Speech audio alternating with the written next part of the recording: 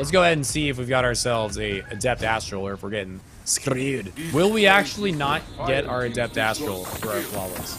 Oh my goodness gracious, ladies and gentlemen. It actually is true. There are no Adepts in the Lighthouse chest this week.